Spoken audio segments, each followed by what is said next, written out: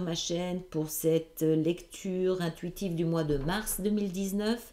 Je vous prie d'excuser ma voix, je n'ai pas fumé, euh, c'est juste les joies de l'hiver. Euh, voilà, j'ai la voix qui est un petit peu éraillée, mais ça devrait pouvoir aller. J'espère que vous comprenez bien tout ce que je dis, mais je pense ça devrait, ça devrait aller. Alors, euh, on avait, lorsqu'on a fait les trajectoires 2019, on avait pour le cancer, pour ce mois de mars 2019, l'énergie de l'impératrice. Alors, l'énergie de l'impératrice, je vous le rappelle, c'est une énergie très douce, très maternante, très protectrice, sécurisante. Et cette protection, cette sécurité, on l'a à l'intérieur de soi. C'est pas quelque chose qui va nous être apporté par l'extérieur, c'est quelque chose qui est en soi. Étant cancer, c'est d'autant plus quelque chose d'inné chez vous pour vous, cette capacité à s'auto-protéger, à s'auto-materner, à s'auto-nourrir et à, et à comprendre à quel moment il faut vraiment ériger des barrières pour que l'extérieur ne puisse pas venir abusivement se servir euh, de votre amour, de votre, de votre bienveillance. Et puis surtout cette énergie, se la donner à soi-même, prendre soin de soi, s'écouter, euh, avoir une hygiène de vie qui, euh, qui, euh, qui, qui nous fait du bien et qui ne nous fait pas du mal, si vous comprenez ce que je veux dire par là. Vraiment s'écouter, écouter son corps. L'impératrice, c'est aussi la terre. D'accord? Donc c'est important de, de, prendre soin de son corps. Le corps, c'est la terre, c'est notre, notre terre à nous. Donc prendre soin de son corps, s'écouter, euh, surveiller, enfin surveiller, j'aime pas ce mot surveiller, mais veiller à ce qu'on mange, veiller au, sommeil, à ce genre de choses. Ça va être, je pense, à voir ce qui se passe ici, ça va être important ce mois de mars, de vraiment, vraiment, vraiment se mettre au, centre et au cœur de, de, ce mois et, et d'agir comme une mère face à soi, de d'être d'être indulgent, d'être vraiment protecteur pour soi-même. Vous commencez, vous commencez ce, mois de mars, ou plutôt vous finissez, zut, finissez février et vous commencez le mois de mars avec deux arcanes majeurs, le pape et la justice. Ce sont deux arcanes puissantes qui parlent, qui parlent de foi, qui parlent de destin, qui parlent de justice, de justesse, d'équilibre, d'harmonie. C'est pour ça que j'insiste beaucoup sur cette énergie de l'impératrice, parce que pour moi, ce que ça veut dire ici, c'est que durant ce mois de mars, il va falloir être inébranlable dans ce que vous pensez être juste pour vous. Mais ce juste pour vous, c'est, je pense, quelque chose en plus d'invisible. Euh, comment expliquer ça?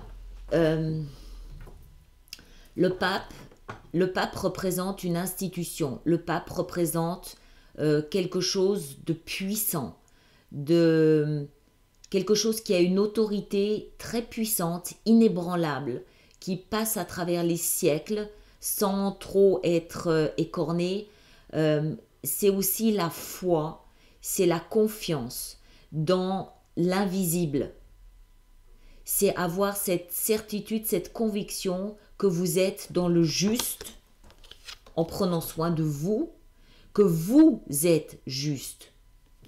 Peu importe qui vous êtes, peu importe ce que vous faites, peu importe ce que vous dites, vous êtes juste par rapport à vous, par rapport à, à, vos principes, à vos idéaux, à vos rêves, à vos besoins, à vous, vous êtes juste. Et cette justice, il va falloir la faire respecter, il va falloir l'imposer, il va falloir montrer c'est en fait un peu cette énergie ici, elle nous explique qu'il va falloir peut-être un petit peu monter aux barricades ce mois de mars pour faire valoir ce que vous considérez être juste et bon pour vous, mais pas tant par rapport à l'extérieur, plus par rapport à vous-même.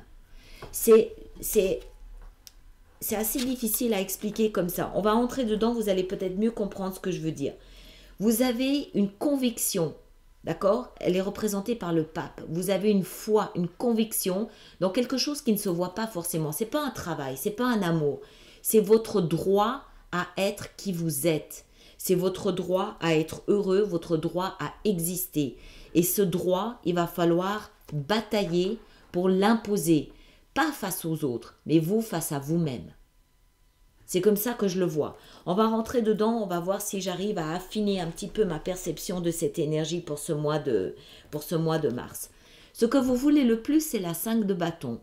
La 5 de bâton, c'est quoi? C'est les arguments, c'est les conflits, c'est les discussions, c'est la négociation, c'est faire valoir votre point de vue. Alors, je ne pense pas que vous vouliez forcément avoir des arguments et des disputes et des conflits verbaux ou de communication avec les autres. Non, je ne pense pas. Je pense que ce que vous voulez, c'est faire entendre votre voix. Encore une fois, on revient à ça. C'est ne plus vous laisser marcher sur les pieds, ne plus vous laisser expliquer que oui, mais enfin bon, là il va falloir être un peu plus conciliant, là il va falloir être un peu plus souple, là il va falloir que vous fassiez une entorse à vos principes, à vos idées, à vos convictions, parce que sinon, euh, non, non.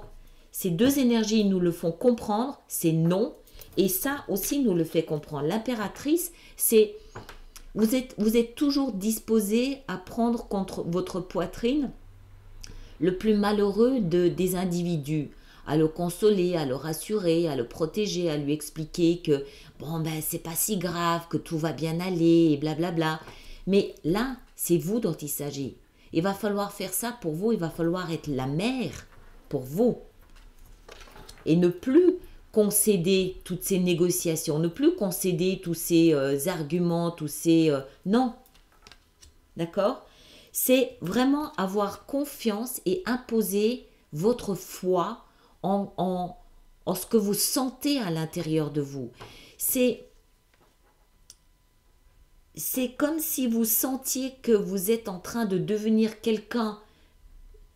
J'aime pas employer le mot d'important, mais c'est comme si vous compreniez qui vous étiez en termes de valeur, en termes de talent, en termes de compétences, en termes de cheminement parcouru.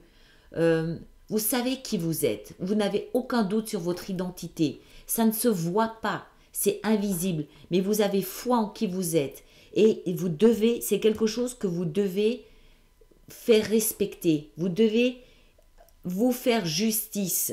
Et même s'il faut pour ça discuter, batailler, négocier, vous le ferez. Alors, ce qui va vous aider dans cette démarche, c'est le temps. Le temps est avec vous. Le chevalier de denier, c'est un chevalier qui est dans l'action, c'est un chevalier qui avance, mais c'est le plus lent des chevaliers.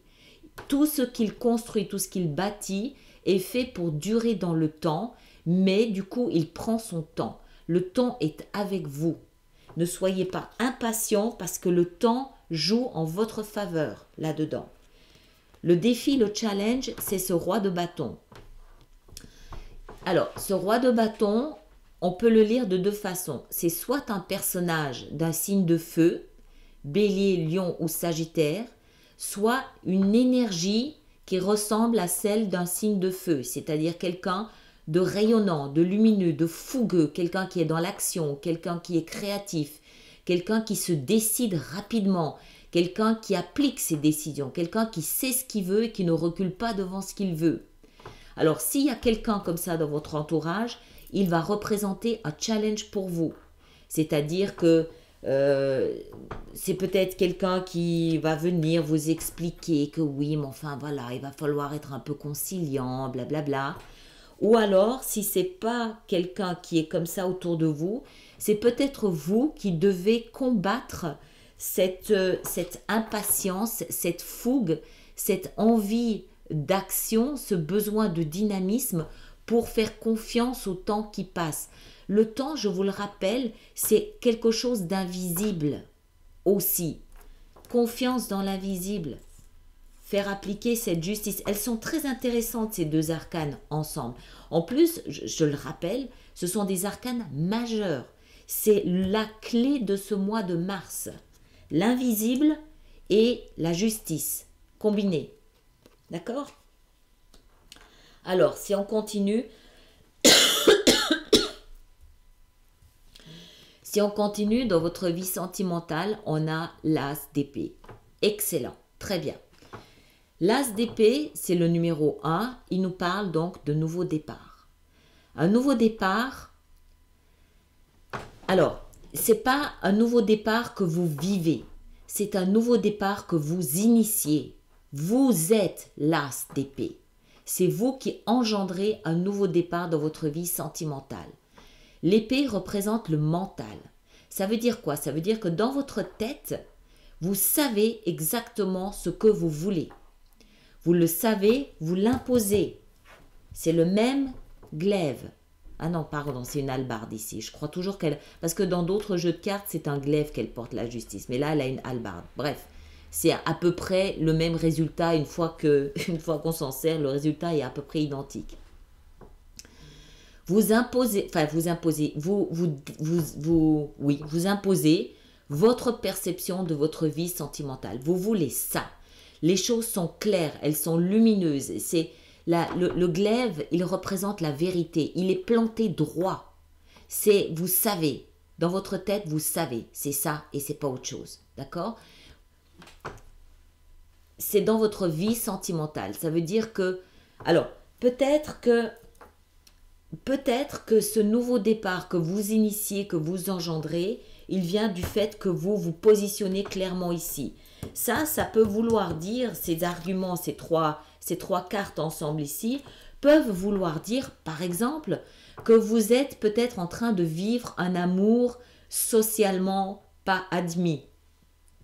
Si vous comprenez ce que je veux dire par là, peut-être avec une personne qui a une grande différence d'âge, une grande différence sociale, une grande différence culturelle, une grande différence religieuse, et, en fait, le fait que vous ayez cette as d'épée nous montre clairement que vous, passez outre l'objection qu'on peut euh, vous montrer, ces arguments dont les autres peuvent vous faire part, vous passez outre et vous déclarez, parce que dans votre tête c'est clair, votre mental c'est clair, c'est ça que je veux et c'est rien d'autre. Vous imposez la justice, votre justice, en déclarant moi c'est ça. Point. C'est tout.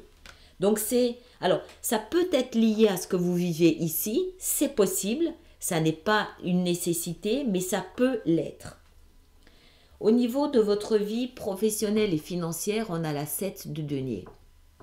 Alors la 7 de denier, elle nous explique que durant ce mois de mars, vous faites comme une espèce de pause. Euh, là aussi, attendez, il y a deux façons de le lire aussi. Vous faites soit une espèce de pause et vous mesurez ce que vous avez récolté jusqu'à présent. La 7 de denier, c'est l'énergie de la récolte. Vous mesurez votre récolte. Est-ce que vous récoltez euh, les fruits de ce que vous avez investi ou pas? Est-ce que ce que vous obtenez, ce que vous avez obtenu en termes d'argent, de reconnaissance professionnelle, de valorisation personnelle, est à la hauteur de ce que vous pensiez de ce que vous espériez, de ce que vous avez investi ou pas. C'est une période qui peut être une période de grande récolte, mais ça peut aussi être une période de pause, de bilan, durant laquelle vous allez mesurer ce que vous avez obtenu par rapport à ce que vous avez investi. D'accord? Donc là aussi, pareil, hein, euh, autoprotection, considération, tolérance, empathie pour soi-même. Si vous, si vous estimez que la récolte n'est pas à la hauteur de ce que vous espériez, ne vous blâmez pas. Il suffit juste de rectifier le tir. On va en rajouter, on en saura un petit peu plus. Ça peut aller dans les deux sens ici. Alors, au niveau de votre vie spirituelle, de votre cheminement intérieur, de votre développement de soi, de votre conscience, voilà, vous lui donnez le nom et l'appellation que vous voulez, ça revient au même. On a la 2 d'épée. Alors, pour moi, c'est là où le grand combat de ce mois de mars va se mener. La 2 d'épée, c'est l'énergie de... Regardez ces deux personnages qui se battent ici. Elle nous parle de conflit et on n'a aucune idée, en regardant l'image, de qui va gagner le combat. On ne sait pas si laquelle de nos deux pensées va avoir le dessus? Ça me fait penser à l'histoire du dragon noir et du dragon blanc. On ne sait pas lequel des deux va gagner. Et comme dit le proverbe, ça va être celui qu'on va nourrir. Tout ça pour dire que vous avez un choix à faire. Il va falloir choisir un gagnant. Il va falloir choisir une direction, choisir, faire une, prendre une décision. Laquelle, on ne sait pas. Et pour moi, c'est ça ici qui entre là-dedans. C'est ce conflit-là que vous avez à mener. C'est est-ce que je vais me laisser emmener par mes interrogations et les, et les arguments des autres, ou est-ce que je vais oser montrer, trancher avec ma hallebarde et décider ce qui est bon et juste pour moi? Ça demande une prise de conscience de votre situation, d'accord De ce que vous voulez et surtout du fait, surtout de ce qui vous est exigé de l'extérieur. Ce que je veux dire par là, c'est que c'est c'est euh, c'est pas un combat juste parce que c'est soit vous pliez la tête, soit vous pliez la tête, mais vous aurez peut-être plus jamais l'occasion de la redresser, soit vous vous battez pour ce en quoi vous avez foi. Et là, vous imposerez votre choix peut-être pour toujours. C'est pas un combat juste, c'est un combat vraiment de, votre identité, de vos valeurs, de vos convictions, vos principes. C'est pas choisir entre Pierre ou Jacques. C'est pas choisir entre un job ici ou là-bas. C'est pas choisir entre un canapé rose ou un canapé bleu. C'est choisir entre est-ce que je me dresse, est-ce que j'ose me dresser pour qui je suis, pour ce en quoi j'ai foi, ou est-ce que je baisse l'échine C'est un c'est vraiment un choix très important. Et c'est dans votre vie spirituelle. Ça veut dire que c'est au niveau de votre conscience que ça se joue. D'accord? Alors, l'issue de ce mois de mars, si vous traversez toutes ces énergies, c'est une magnifique issue c'est les étoiles. Ça veut dire que ça veut dire que il y, a plusieurs significations là derrière. La première, c'est qu'il y a une notion de guérison. Une notion de guérison, eu égard à ces énergies qui sont ici, pour moi, ça veut dire que vous allez donner à cet espace en vous, à l'intérieur de vous, qui doute, qui doute de sa valeur, qui, qui se laisse peut-être un petit peu influencé et manipulé par les arguments des autres, euh, cette partie de vous qui a envie d'avoir la foi mais qui n'ose peut-être pas l'affirmer, euh, qui n'ose peut-être pas le déclarer, cette partie qui, qui a tellement peur de s'affirmer, de faire justice pour elle-même, cette partie-là a la possibilité de guérir. Et l'autre élément de cette carte des étoiles, c'est l'espoir. C'est l'espoir que euh, on va comprendre que vous osiez vous imposer, qu'on va peut-être aussi vous pardonner d'affirmer un amour qui peut socialement euh, perturber d'autres personnes autour de vous, vraiment, peut-être des personnes même que vous aimez, comme vos parents, je ne sais pas. Euh, vraiment, cette énergie de l'impératrice, elle est très importante ce mois de mars. Très importante. C'est vraiment de l'indulgence pour vous. Vous avez un choix très important à faire, une décision très importante à prendre, une décision qui va qui va vous entraîner sur un chemin peut-être complètement différent, un chemin peut-être que vous ne pensiez pas, que vous n'osiez pas, que, que vous ne vouliez peut-être même pas.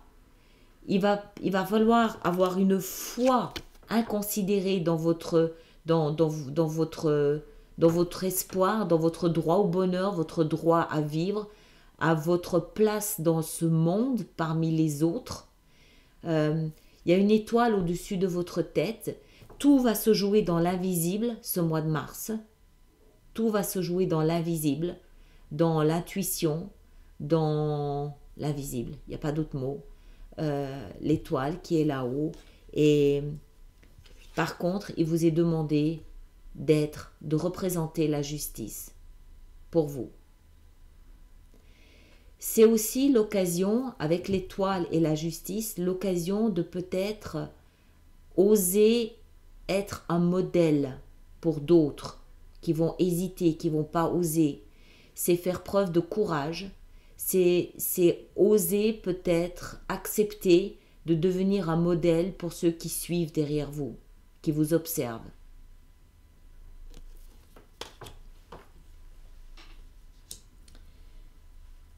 N'oubliez pas que le temps est en votre faveur aussi. Je pense que c'est important. C'est des énergies très fortes, très puissantes. Mais j'ai l'impression que vous allez vivre un mois de mars qui va peut-être être pas toujours très facile à endosser, euh, à accepter. Mais au final, au final, punaise, waouh. Vous avez la chance, la possibilité de devenir cette étoile, de briller de montrer le chemin aux autres. Et montrer ce chemin, ça veut dire quoi? Ça veut dire oser faire justice pour ce en quoi vous croyez, ce en quoi vous avez foi. Même si ça doit choquer, surprendre ceux qui essayent de vous convaincre que c'est pas bien. D'accord? On avait là-dessous, on avait la 7 de coupe la 7 de coupe, elle nous parle beaucoup de, fantasmes, d'imagination, de rêves éveillés. Euh, et j'ai l'impression en fait que, encore une fois, c'est, ce monde, euh, ce monde invisible, ce monde du rêve, ce monde de, la pensée, de l'introspection qui est, qui est là pour vous ce mois de mars. N'oubliez pas que vous avez l'impératrice, hein, d'accord? Je pense que c'est extrêmement important ce mois de mars. Alors, on va voir comment on va pouvoir euh, développer ça pour euh, Vimeo. On va faire ça comme ça parce que je vais en mettre une là-dessous aussi. J'espère que vous voyez tout. Ouais, vous voyez bien. Alors, d'abord, le pape et la justice. Qu'est-ce que ça nous apprend? Qu'est-ce que ça nous indique? Comment est-ce qu'on peut développer ce pourquoi vous devez vous battre pour ce mois de mars 2019 Je ne sais même pas comment appeler cette vidéo, tellement c'est ça va chercher très très très très loin. Très très loin. Vous savez à quoi ça me fait penser? Je sais qu'il y a le nœud nord qui est en cancer. C'est exactement ça. C'est se battre, s'affirmer pour qui on est, pour son identité. Et en faisant ça, on devient une espèce de modèle pour les autres, une espèce d'étoile pour les autres, un modèle à suivre, un exemple à suivre c'est un rôle qui n'est pas facile à endosser, pas facile à assumer, parce que ça peut vouloir dire qu'on va s'aliéner le, le, la considération, le respect ou l'amour de personnes autour de nous qui comptent pour nous. Et, et voilà. Mais c'est l'occasion de vraiment devenir qui on est. D'oser, d'oser se montrer comme on est, tel qu'on est. Oubliez pas, le temps est avec vous. Et faites, méfiez-vous de ça là, hein. d'accord? Allez, on va... Et j'ai l'impression que pour beaucoup, il va, être question... Remarquez, ça peut aussi être au niveau du travail. Hein. Pour beaucoup, j'ai l'impression que ça va toucher leur façon d'aimer, d'affirmer ou de montrer leur amour.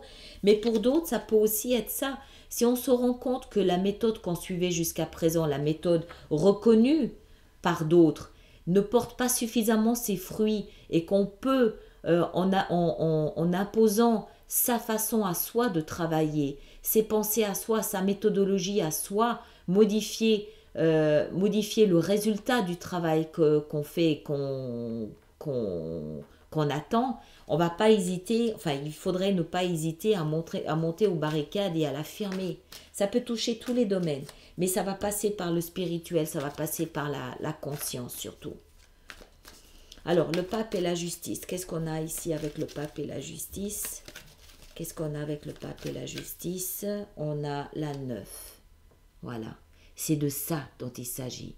Oser entrer dans ce qu'on a bâti, construit, accumulé seul. On est seul dans ce chemin, sur ce chemin. On sera seul d'accord? Mais on sera seul avec tout ce qu'on a accumulé de valeurs, de biens, euh, même en termes de, patrimoine, mais surtout de conviction, d'expérience, de, de connaissances, de savoir, de choses comme ça. C'est très très bien. Ça me plaît beaucoup cette neuf de denier là. Allez, la 5 de bâton. Qu'est-ce qu'on a avec la 5 de bâton? On a la tempérance. Très bien. Le temps, le chevalier de denier. Qu'est-ce qu'on a avec le chevalier de denier? On a le soleil. Voilà, vous voyez, le temps est avec vous. Qu'est-ce qu'on a sur ce roi de bâton? Le roi de bâton, il a le valet de le valet de denier, encore une, encore une, la 8, encore une. Oh, ouais, le diable, d'accord? Alors, dans l'amour, avec l'as ici d'épée, qu'est-ce qu'on a? On a la 7 de denier. Ouais, beaucoup d'évolution, euh, d'évaluation euh, plutôt. Encore une avec la 7. On a, voilà, le valet de coupe. Très bien. Il y a une grande évolution au niveau de la vie sentimentale. Avec la 7 de denier, qu'est-ce qu'on a? On a, ça c'est quoi? C'est le valet de bâton. Le valet de bâton dans la vie spirituelle, on a la 7. Voilà. Grand combat dans votre vie spirituelle. Mais des combats peut-être aussi contre vous-même. Hein.